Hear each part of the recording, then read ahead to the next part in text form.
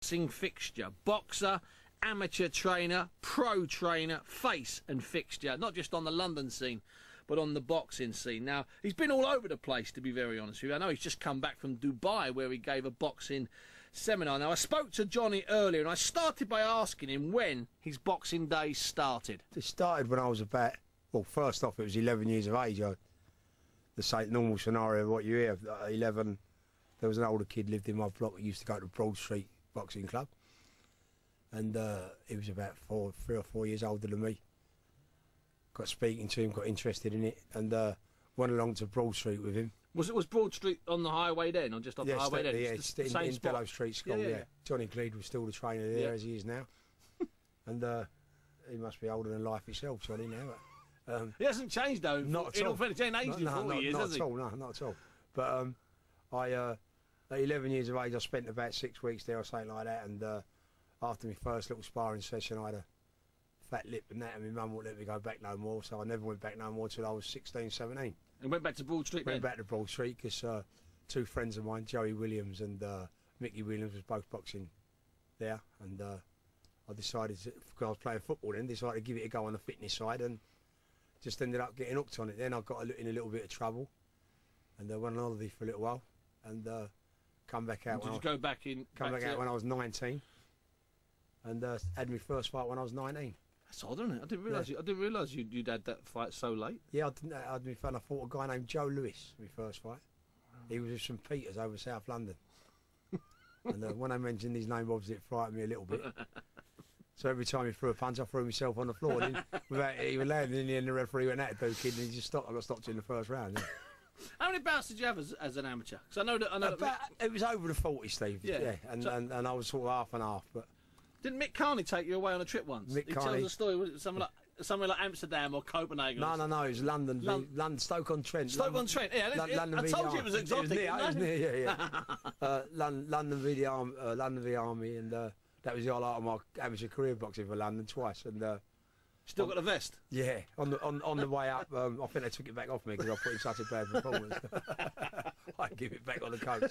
But um, no, uh, on the way up, there was uh, Jimmy Cable and myself, Oh wow. and uh, Mick of decided to change the opponents and put me in with who Cable was supposed to be boxing, Okay. and Cable with who I was boxing. Then don't tell me Cable You know, had a Cable blowout in a bowled his round. man over and around.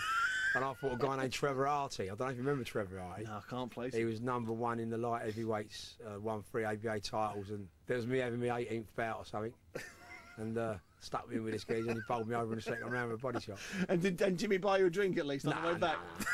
nah. Like buy him a drink. but, I mean, you know, did, did you end up at West? Then you end up at West Ham tra- Not- yeah, as a trainer. As a I- I- trainer. What I did, uh, um, What happened there? I was I was going to go professional, and uh, again following Joey and Mickey Williams, really, they went pro with Harry Harry Burgess. Remember Harry the Growler? Yeah, of course I do. Yeah. and I was training over to Beckett, and um, uh, I'd just been in the ABAs, and I got beat by Les Stewart in the ABAs. Who boxed for the Repton and went on to win a world title. World heavyweight champion. Yeah, he had to lead the country a bit sharpish. Probably. He did, yeah. probably. Then he showed up later on. yeah. It was, it was Les Stewart, Trinidad and Tobago, as That's opposed it. to Les Stewart of the East End. yeah.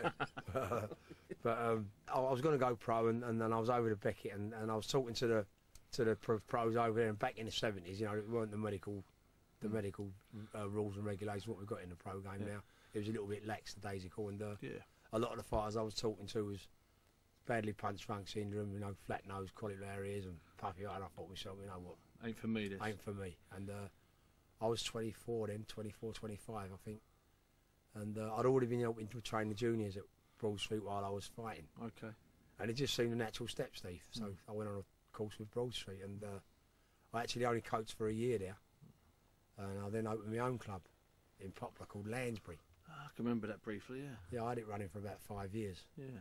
They've now reopened again. Adam Spelling's running it at the moment. Okay. Um, but then Bradley Stone passed away, Yep. and, and uh, to be honest with you, it upset me a little bit, and I, and I packed up being a trainer. But- I, had a, I had about four months out, Steve, I think. Uh, after Bradley. After Bradley, I just, known- yeah, I just, I just thought, you know, I don't know, I just couldn't face it. Yeah. He was, he was a nice kid, and it was hard. nice It was hard to accept. Although he was a little bit of a tearaway on the Yeah. street, he was a lovely kid. And then Jimmy Murphy from West Ham knocked on. He used to live around the corner to where my mum lived. Knocked on the door and said, "Why don't you come and give it a roll at West Ham?"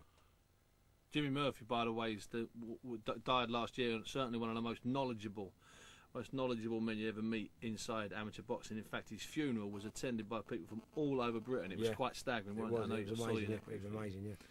So he Um, said, "Come and give it a go down," said, come and give it a go. I started with a nursery. Mm. um, which was full of good fighters. which I'm was full. imagining. Well, yeah. and in the nursery then was the likes of Kevin Lear and people Yeah. like that. Do you know what I'm Talk saying? about So- Kevin in a minute. Yeah. Yeah. and then um, you know uh, it just progressed to there. Then I was sort of there was me. Um, at that time, Lee Tokley, Yeah. Yeah. they're one of the Tokleys, Yeah. Yeah. and Mickey. Mickey Mickey May. Yeah, then then Lee went, and then Terry Abbott come along. Yeah, from used to be Crown uh, Tate and Lyle, Tate and. Lyles. Yep. Terry's back there again now, apparently. Um, and I ended up there 14, 15 years, Stephen. Wow. So when did you take your pro license out then to be a trainer? Uh, every year in, in, in the amateurs, well, I had I had quite a while with Mickey with the juniors, and then Dave Woodward, who was the senior coach, then moved on to Newham, Yeah. and uh, they asked me if I wanted to coach the seniors. Well, I was sort of helping out with the seniors anyway, and a lot of the good juniors we had were just, had gone was just moving into the seniors, um, and uh, it just seemed a natural progression, and I started doing that, and uh, every year. Someone wants to go pro, and it's like yeah, of. I'm going to go with them, but then you get attached to another kid, so you leave that one then it's away. the next year Yeah. and they've gone. And then I had Gary Steadman. I don't remember Yeah, of Gary. course I do. Yeah. Fun Um, enough, I was at Gary's first ever bout. Okay. Yeah, I did a Barking. piece on his very, very first Barking, ever yeah. bout. Yeah, and, he, and I think he lost, if I'm not mistaken. No, We- no, they didn't lose no. we did, did, was a He got disqualified on one. Both of them got through. I know, I, did- I know. I did something on Gary Steadman years Yeah. ago for the Telegraph Yeah. when I was working there, and I, mem- I remember we got a picture of him in the corner having. He, well, probably was the disqualification. Yeah, he, they both got disqualified, but that's another story. But Gary went pro, but I had Kevin and Kevin Lear, that is, and, and uh, uh, Tony Joy. yeah, Kevin came back that year. Yeah. He, he's packed up when he was 16 and came then back. Then came back. Came yeah. back and we put him straight in the ABAs. And, and I stayed for the ABAs, but I was coaching Gary as a pro, Yeah, who was then managed by Dean Powell. yeah, And Dean used to do his corner for me. sure. So, um, but then the following year, Kevin got beat in the ABA finals, you remember that? and then he wanted to go pro, and I thought, you know, you know what, it's time for me to go, and, and, and I did. So, so what year was that? 99 or something? It's 15, 14, Yeah. 15 years now. Oh, yeah. about 90, 97, 98. Yeah. Because Kevin, Kevin's Kevin's Kevin's odd. His career's odd in the sense that he's only pro. So he's only a pro three years. Wins a version of the world title. Great performance against Gomez. Has one defence. 2002. Still only a baby. And then vanishes off the face of the earth. Whatever happened to Kevin Lear? Kevin used to have a lot of problems. The problem with Kevin is he was so naturally talented yeah. that he felt he didn't have to put the eight weeks in for title fights. He was one of them kids, and in the end, I was, we used to have to kidnap him and take him to training camp. Otherwise, you wouldn't get the, the quality training out of him. When he was when he trained properly, you know, you, you know, I Yeah, tell you about Kevin Lear. Um, he, uh, but he, because he wasn't giving you the eight weeks or ten weeks what you what you need Yeah. to get ready for a twelve round fight, he was coming in and having to work hard straight away, and that was his whole career. Yeah. You know, he never actually run till he started doing eight round fights. Oh, He just used to get through on talent Just- alone. Yeah, and he was You know, super talented Yeah, and the junior talent was as there, that's senior. why. Yeah. And then he started having problems with his shoulder. Oh, okay. So there was an injury. kept dropping well. out, kept dropping Oh, out. Um, we we got him uh, over Chelsea Football Club with a physio over there. They had a, they had a rugby, the the England rugby physio working with Chelsea at the time. I forget his name now, but he specialised in shoulder injuries. And Joe Dunbar, you know Joe, used Yeah, to work with. Yeah. Joe found him From for the- the guy us. does a lot of that's F1 it, stuff, yeah. Joe found him for us, and we used to have to go to Chelsea one or two nights a week and have this physio with this guy, and it seemed to be strengthening it up. And we beat Gomez, That was in two, 2002. which was I mean it's only Kevin's eleventh fight. That was Yeah, it's- performance staggering, yeah. You know what I mean? We then fought um, Kirkov Kirkorov, That's I right. believe. It was a decent. It was a good was good champion. I mean, he was still decent. win. He was still decent. Yeah, yeah, no, no, yeah. Still, that was he's a been good win. about recently or, Yeah, or after, but Well, that was 2002, so it's different. and we was then penciled in to fight um, Gavin Rees. Gavin Rees, yeah, oh, sure. So we had that. shit. We had um, uh, who just won a prize fighter, the, the Mongolian Oh, Choi. Choi. Choi. I used to employ Choi as a sparring partner, Yeah. Wow. and and Kevin Kevin uh, Kevin for a right hand. Choi got underneath it, and it and his, as he stood up, he popped his shoulder out again. And he was, I'll never, I'll never get the pain he was in. He was in really excruciating pain, Steve. And uh, he just said, you know what, John, I can't go through this no He's only 25, only Yeah, 24, yeah, 25? Yeah. He said, I can't do this no more.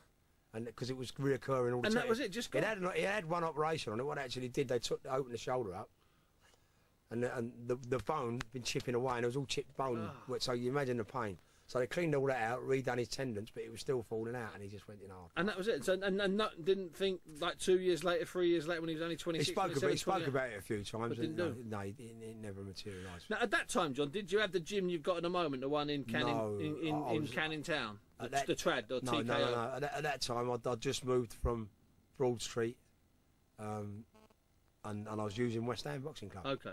I was back in there, and it, I was using it for daytime. So how did you end up in the place you're in at the moment? Because I mean, it's, it's one it's one of the it's a, it's an old throwback gym. It's like something from the 70s or the 50s. People talk about these gyms Yeah. and they say they don't exist. Well, your place is. I mean, it, it, it, it, it's a ridiculous place. It's it's it's a classic Yeah. old, old style. How did you end up in that venue? I, I mean, we, we was pretty fortunate. I mean, I ended up training Ross Minter, Yeah. um, who was sponsored by a guy called Tony Brinton, um, who owns Ultrachem, Okay. which of course, are, Ultra was. whi- which are they, they supply everything to the printing trade, uh, all bar Inc. I think, but they're, they're a mega big company, and uh, t- Tony Brinton was sponsoring Ross, who um, it enabled Ross to pack up work and become a full time fighter, which Will saw the improvement in when he could do that. diff- different you know, fighter then. Different fighter. Um, uh, obviously, I, Tony used to come along, come along and watch Ross training every day, and see where his investment was going and what he was doing, and we became friends. And uh, he, he then took over from our sponsor because we had a sponsor that used to pay the rent for us at West Ham, and, and uh, uh, different things happened. Then he couldn't sponsor us no more. So Tony said, "Well, I'll take over that." And then was at one Christmas dinner, and, and Tony was one of these guys. He'd always want to ask you what you was planning to do in the future, and he said, "You know, what, you know, what's your wish list for next year?" And as much as I loved working in the amateur clubs, and especially West Ham, 'cause it was a club I was there for a long while, the amateur committees are very petty. Yeah, and, of course and, you they know, are. you know, your boys left a bit of tape on the side, and you know, you sweet wrapped it. Didn't sw- yeah, of you course. know, and, and in the end, it was doing me in. And, and I said, I'd love to eventually have my own gym. And he went, all right, I'll put some thought into it. Well, within within two months, I had a big pile of papers saying, go and look at this, go and look at that. And uh, Tony's got a warehouse around the corner to where we're actually situated now, one of his warehouses. And he put this, this place up, and I went and looked at it, and it was a, a working print factory, Steve. I walked in there. and I- Upstairs? upstairs. There was a print factory downstairs, print factory. And I went, phone up, I said, Tony, you know what? I can't see this, mate. It was in a desolate industrial area, and Oh, it's desolate. you know, you and, got, and, got you know, it. ain't the sort of place you'd be wanting to walk along, especially in Canning Town anyway.